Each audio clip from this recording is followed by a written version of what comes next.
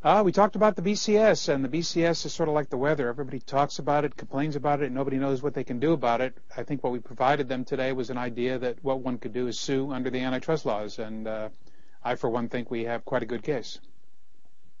What did you think about the conference? It's a great conference. We really had smart people on both sides of the issue. I uh, hope I presented some good information to the audience, but I learned something listening to four or five very talented people up front to kick around the issues. And uh, the issues are difficult and complex, and most people think the BCS is unfair. That's the easy part. The hard part is would a court straighten it out?